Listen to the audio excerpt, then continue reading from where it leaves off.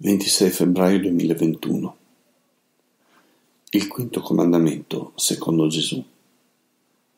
Dal Vangelo secondo Matteo capitolo 5 In quel tempo Gesù disse ai suoi discepoli Se la vostra giustizia non supererà quella degli scribi e dei farisei, non entrerete nel regno dei cieli.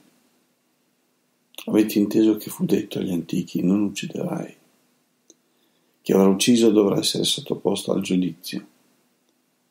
Ma io vi dico, chiunque si addira con il proprio fratello dovrà essere sottoposto al giudizio. Chi poi dice al fratello stupido dovrà essere sottoposto al sinedio.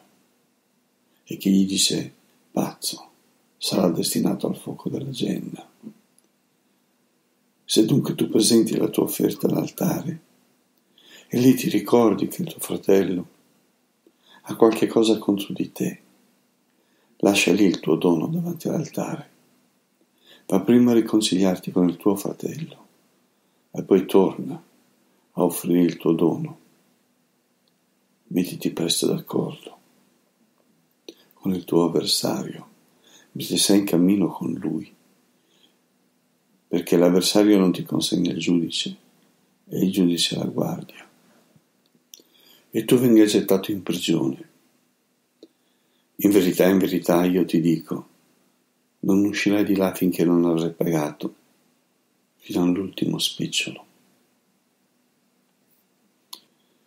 Gesù, conformemente alla vera tradizione, insegna quello che i più fedeli e sapienti conoscevano. Amerai il Signore tuo Dio con tutto il cuore, con tutta la tua anima e con tutta la tua mente questo è il grande primo comandamento. Il secondo poi è simile a quello, amerai il tuo prossimo come te stesso. Da questi due comandamenti dipendono tutta la legge e i profeti. Nel caso del quinto comandamento, non uccidere, porta a conseguenze estreme il comandamento dell'amore. Per cui egli dice, fu detto agli antichi, ovvero alla generazione che ricevette i comandamenti per mezzo di Mosè. Ma io vi dico, chiunque si adira. Si tratta di una innovazione ma senza contraddizione. Non viene abolita la legge ma approfondita. Lo stesso comandamento viene fatto comprendere nelle sue conseguenze estese da ogni forma di scontro, sia verbale sia che rimanga racchiuso nel cuore con la forma del rancore della divisione. Potrebbe sembrare una esagerazione per il fatto che l'omicidio è un fatto così enorme e chiaro che tutto quello che non vi rientra sembra comunque sopportabile, quando non giustificabile. Chi subisce un torto sembra giustificato nei suoi sentimenti e reazioni mosse dall'ira, dal giudizio negativo verso il prossimo, l'avversario per il nemico e così via. Normalmente i codici delle leggi civili sono quelli che hanno un riferimento immediato e costituiscono la base per formare la nostra mentalità, ma questa non è cristiana.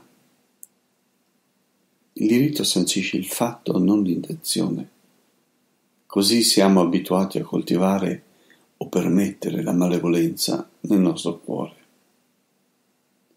Ma la legge di Dio è ben più profonda del migliore dei diritti umani, poiché guarda allo stato del cuore delle persone. Nell'intenzione è racchiusa la sostanza del bene o del male, la quale si esprime nell'azione costituendo dei fatti. Ma se anche non arriva al fatto materiale, il fatto spirituale sussiste. La malevolenza d'animo produce mille azioni che se anche non arrivano all'omicidio materiale, tendono a danneggiare la vita dell'avversario. Essa si manifesta comunque e se le leggi civili derubricano i comportamenti rispetto all'omicidio, per la fede ciò che c'è nello spirito è ciò che costituisce l'uomo e lo fa permanere in uno stato di alterazione del bene. Le cattive intenzioni, infatti, sia che arrivino a materializzarsi in fatti materiali, sia che siano trattenute nell'anima, sono il male accolto che deforma spirito dell'uomo e lo pone fuori dallo spirito di Dio. Il fatto è spirituale, ma è la dimensione più grande del materiale. Perché se il mondo materiale passa, quello spirituale rimane. Lo stato dell'anima di chi odia non può stare davanti a Dio, poiché è contraddittorio con lo spirito di Dio, mentre è consono con lo spirito del maligno. Gesù avverte che non vi è spazio per la convivenza tra i due spiriti. L'uno è nemico dell'altro, il bene non convive col male.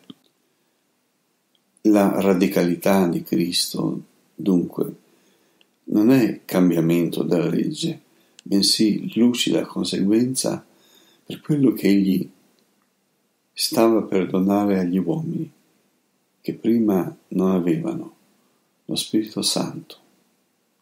L'abitazione di Dio nel cuore degli uomini è il grande dono di Gesù. Ed egli avverte e chiede che vi sia rinuncia totale al male, perché Dio sta per prendere possesso totale dell'anima dei suoi fedeli, trasformandoli l'immagine di Gesù, l'uomo perfetto, l'uomo secondo il cuore di Dio.